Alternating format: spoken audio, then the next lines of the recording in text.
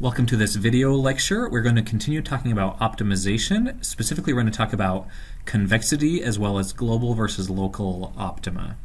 In Module 7, we showed this optimization problem a few times. We're going to look at this unconstrained optimization problem where you're just trying to minimize this objective function within the bounds where both x0 and x1 uh, vary between 0 and 10. So I won't get deep into the mathematical definition of a of convexity. It, it gets much more complex than this.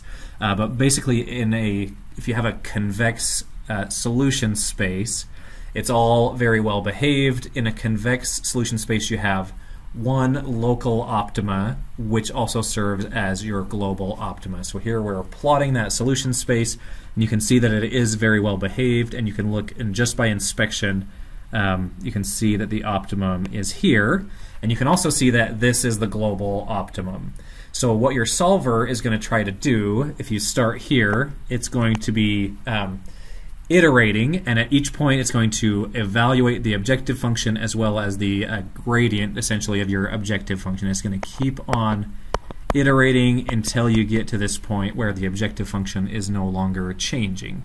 So once you reach that point, if you know that this is a convex problem, uh, you, you know that a local optimum is the same thing as a global optimum. This might be more clear when I show what a non-convex problem looks like. So here I'm going to show a non-convex problem where we have this uh, much more linear objective function varying over some different bounds. So here you can actually see two local optima, two points where you can see that the objective function is locally minimized. So those points would be here and here. So your solver may find one or the other depending on, largely depending on your initial guess, but also depending on the type of solver that you have. So uh, you may, uh, for example, if your initial guess is somewhere over here, your solver is going to be following that gradient and eventually lead you to this point, um, which is a local optimum, but it is not the global optimum. And you can see that you can actually reduce the objective function by a, pretty dramatically by starting over on this left-hand side. So we're going to show you how to deal with this. So there, there are a number of ways to deal with this. Uh, the simplest solution is to just use an intelligent initial guess. There are there may be some solvers that use what's called a multi-start, where you might have a bunch of different initial guesses, and then you pick you converge all of those to an optimum, and then you pick the best one. There are also global solvers out there. I'm gonna uh, I've got this problem coded up in Python, and I'm just gonna kind of highlight the uh, importance of uh, just being aware of this idea of convexity. So um, here we've got our that objective function and solution space plotted and here I'm going to be solving this optimization problem.